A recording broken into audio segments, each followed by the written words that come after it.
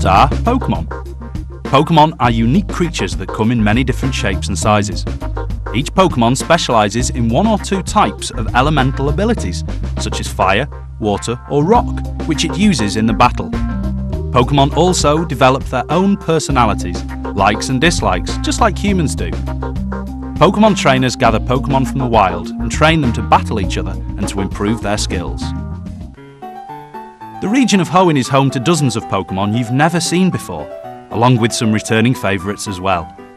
To collect them all, you'll need to explore every place of the Hoenn's map, as well as trading Pokemon with your friends using a link cable, because some Pokemon only appear in Pokemon Ruby, whilst others can only be found in Pokemon Sapphire.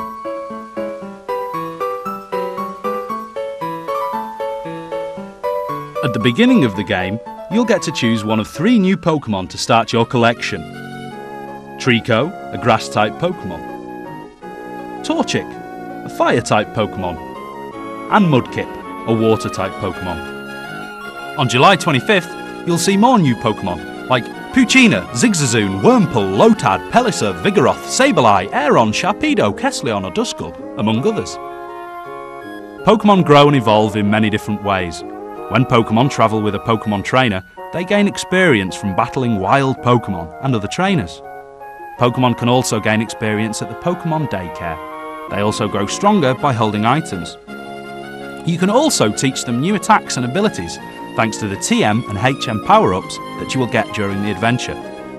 Every Pokemon can learn four different attacks or abilities. Wild Pokemon live in their natural habitat. In open spaces, they usually hide in the high grass, but in closed spaces like caves, a Pokemon could appear at any moment, so you must be prepared. In some cases, you will need items to get them out, like using a fishing rod to catch water Pokemon. To catch the Pokemon, you will use a Pokeball. There are lots of types of Pokeballs, so you must experiment with different kinds of Pokemon and Pokeballs to choose the best one. If you catch a Pokemon or another trainer uses it in combat against yours, their data will be added to the Pokedex.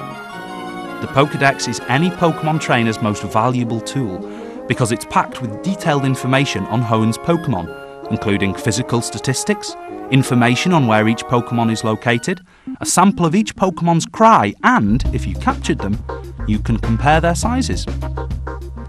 If you want to complete your Pokedex, you must get your Pokemon to evolve by gaining experience or with an item.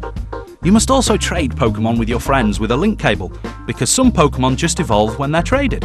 Some Pokemon just appear in the Ruby version, and some just in a Sapphire version, so you must trade your Pokemon with your friends.